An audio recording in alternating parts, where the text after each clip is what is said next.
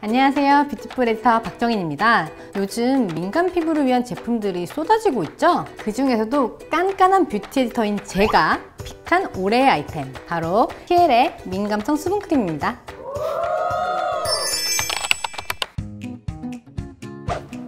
수분 강자 키엘 키엘 수분크림 유명한 건 다 알죠? 그런데 대박 사건. 전 세계에서 최초로 한국 여성들을 위해 한국에서 가장 먼저 민감성 수분크림을 선보였어요. 100% 한국의 민감성 피부 타입 여성분들을 대상으로 자가 테스트를 진행한 제품이에요. 피부가 민감한 사람도 자극에 대한 걱정 없이 사용할 수 있죠. 그럼 직접 발라보죠